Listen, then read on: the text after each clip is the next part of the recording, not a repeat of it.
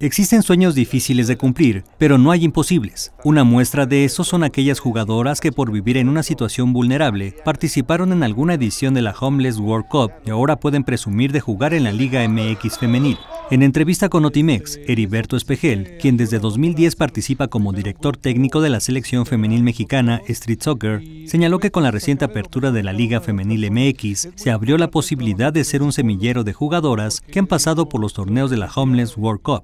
Da mucho gusto que después de haber pasado por aquí eh, ya estén jugando, verlas en la tele o te las encuentras dos o tres años después y dices, bueno, este, profe, ¿qué tal? ¿Cómo está? Este, gusto saludarlo.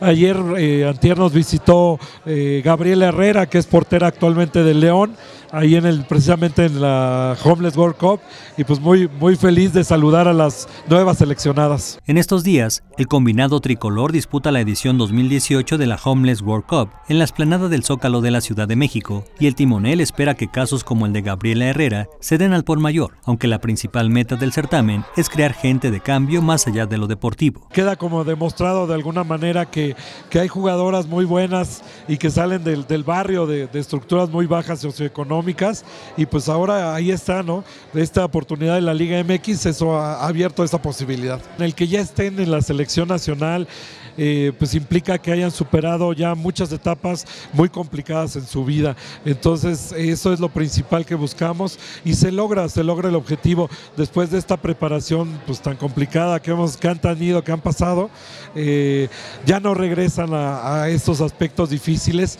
ya el chip se les cambió y regresan a sus comunidades como agentes de cambio. Al participar de la convivencia realizada en la casa de la Embajada Británica en México, el estratega destacó que una vez en la selección nacional pueden observarse a chicas comprometidas dedicadas a trabajar con alegría y voluntad.